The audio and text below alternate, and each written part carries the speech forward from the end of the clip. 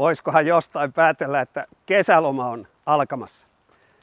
Tytti Yliviikarin tapaukseen liittyy yksi mielenkiintoinen sivujuone.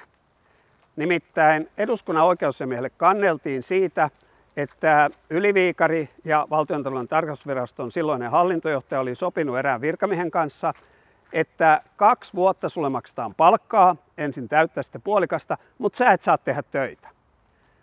Oikeusasiamies selvitti, että onkohan tämä ihan lain mukaista. No mitä nämä kaksi johtajaa vastasi? Johtajia, jotka toimii virastossa, jonka tehtävänä on selvittää, että käytetäänkö veronmaksajien rahoja laillisesti ja tarkoituksenmukaisesti. Ne sano, että ei missään laissa sanota, että virkamiehen pitää tehdä töitä.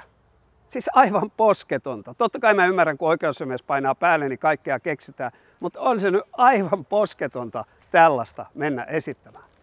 Oikeusasiamies oli tietysti eri mieltä, antoi huomautuksen laivastisesta menettelystä ja nyt poliisi tutkii, onko siinä mahdollisesti syyllistytty virkarikokseen.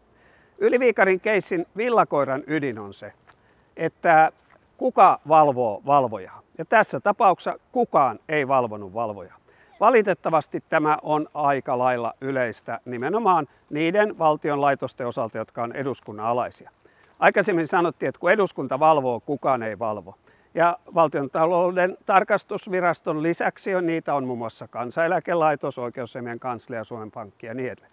Totta kai näissä virastoissa johtajat, työntekijät, ammattiosastot pyrkii mahdollisimman hyvin työsuhteen ehtoihin, lyhyisiin työaikoihin, parempaan palkkaan ja niin edelleen. Yleisesti valtionhallinnossa valtiovarainministeriö ja siellä on omat virkamiehet ja osastot pyrkii huolehtimaan siitä, että veronmaksajien etujen kannalta työsuhteen ehdot on sellaisia kuin on sovittu, eikä ole sen huonompia, mutta ei myöskään sen parempia.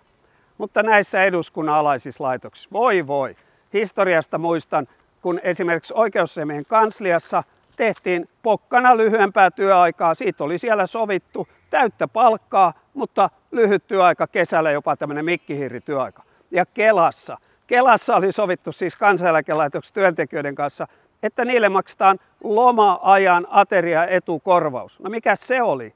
No se oli semmoinen, että kun ne lomalla ei päässyt syömään työnantajan subventoivaa ruokaa, niin sitten niille maksettiin loma-ajan ateria etukorvaus siitä, että ne ei työ loma-aikaan päässyt syömään työnantajan maksamaan tai subventoimaan ruokaa. Tämmöisiä tapahtui eduskunnan alaisissa laitoksissa. Kun eduskunta valvoo, kukaan ei valvo. Toivottavasti tämä on historia. Sotesta muutama sana. Nyt on löytynyt tekninen virhe, joka korjataan. Kaikki on seuraus siitä, että niin hirveä kiire oli Kepulla saada tämä maakuntahimmelinsä ja demareille saada jul, tämä julkinen tuotanto mahdollisimman hyvin betonoitua ja niin edelleen. Voitte lohduttautua sillä. Tämä virhe ei ole ollenkaan viimeinen moka, joka tässä hosumisessa on syntynyt. Niitä vielä löytyy ja niitä vielä korjataan.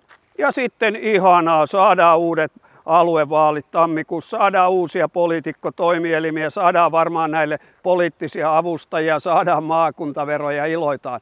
Hoitoon pääsy, ne soten alkuperäiset tavoitteet, mitenköhän niille käy? No, yritetään kuitenkin tehdä tästä mahdollisimman hyvä. Moikka!